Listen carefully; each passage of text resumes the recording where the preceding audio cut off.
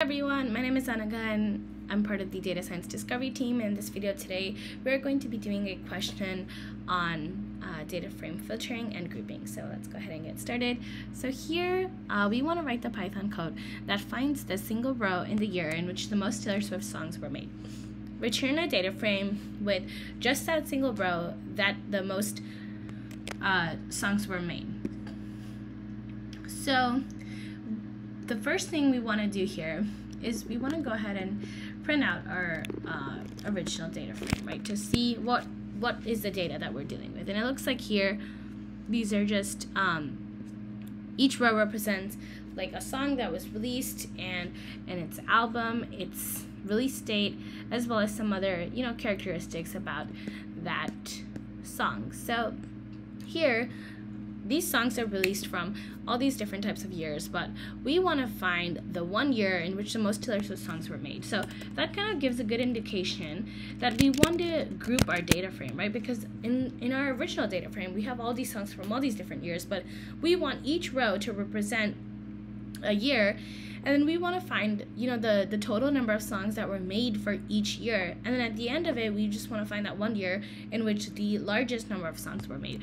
So the first thing we want to do is really group our data frame by year right? By the release date which contains the year of release. And when we group the data frame how are we going to aggregate all our data? Well we just want to aggregate by we have three options, right? Aggregating by mean, by count, or by sum. Um, here, it doesn't make sense to find the mean of anything, right?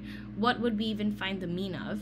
We just want to go ahead and count up all the songs that were made for each single year, right? So for 2003, we want to like or for 2003 for example we want to count up all these songs that were made for 2003 for 2024 we just want to count up all the songs that were made for 2024 so we're really just counting up all the rows that belong in each group, which is each year, right? So we just want to go through our entire data frame and just count up how many rows belong in that certain group, which is that certain year, right?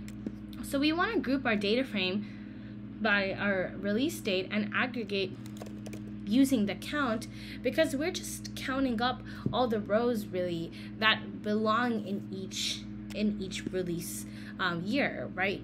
We don't want to sum up anything, right? It doesn't make sense to sum up all the characteristics of a certain song, and we don't want to find the mean of anything either. So the first thing is to really group our data frame.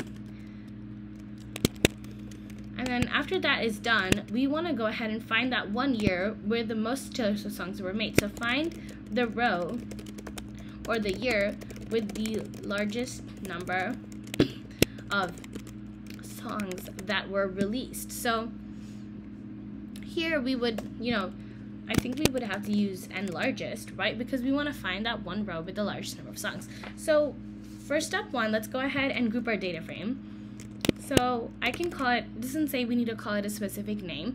So I'm just going to call it df year because we're grouping by year here. So df year equals df dot group by release date dot aggregate by count dot reset index. And then when we print out our df here, this is what it really looks like, which makes sense because each row represents a different type of year. And for that year, right, all these values are the same. For example, in 2006, we see 15 here for the entire row of these columns because that shows us that in 2006, 15 songs were released, right? So when we use count, it's basically just counting up.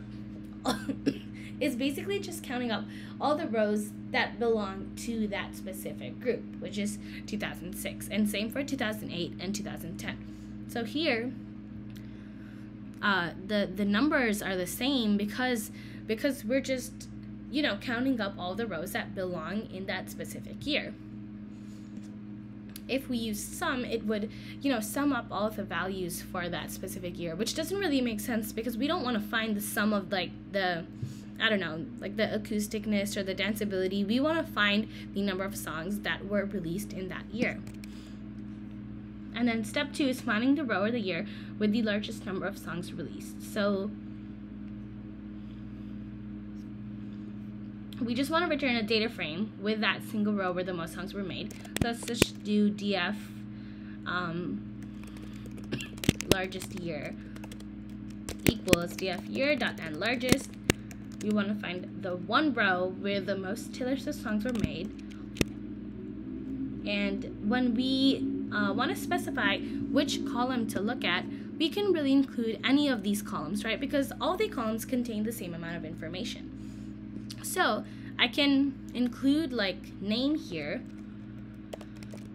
or I could include album or track number or ID or any of these other columns because all of these columns store the same amount of information, which is how many rows or how many songs were released in each year, right? How many songs are included in each uh, in each year here. So when I go ahead and run this, and print out my code, I can see here that 2020 was that specific year in which the most songs were released. And it's this is all this is asking us to do. Um, and when I submit the code, will I get it correct? That's expected because really all we did here was really group our data frame by count because we just want to find the total number of songs that were released for each specific year. And then at the end, just find that largest um, row where the largest number of songs were released. So I hope this was helpful. Um, if you have any questions, let me know, and I'll see you next time. Bye.